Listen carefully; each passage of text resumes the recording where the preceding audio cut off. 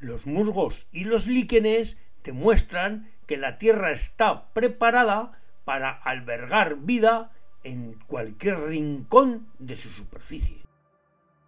Los musgos y los líquenes retienen el agua, tanto del rocío como de las lluvias, albergando bajo ellos humedad permanente y macrofauna necesaria.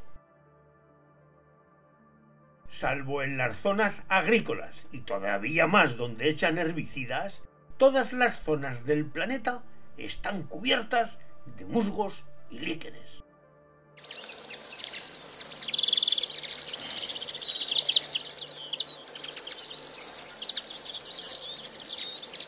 Mientras que jilgueros, verderones, pinzones y pardillos ponen siempre los huevos impares, o bien tres, o bien cinco, los verdecillos ponen siempre cuatro, cosas raras de la naturaleza.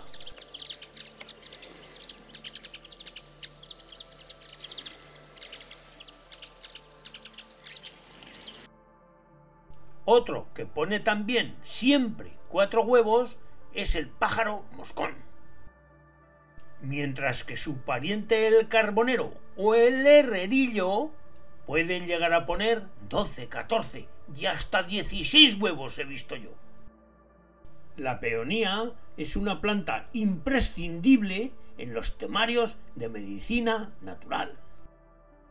Y fueron los romanos quienes las distribuyeron por todo su imperio ya que la llevaban como medicina de campaña.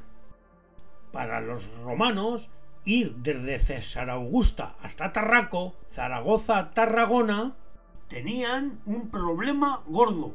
Cruzar los monegros. Tres días sin agua, ni para ellos ni para las bestias. Así que preferían dar la vuelta por Almudévar, aunque eso les supusiese dos días más de camino. La llegada de los árabes lo cambió todo. Ellos sabían manejar perfectamente la poca agua disponible en el desierto. Y fue entonces cuando la comarca comenzó a poblarse. Los eslizones no son culebras, sino lagartos, y todavía tienen unas pequeñas patas que antiguamente las tenían más grandes, pero que no usan y otro que también es lagarto y no culebra es el lución.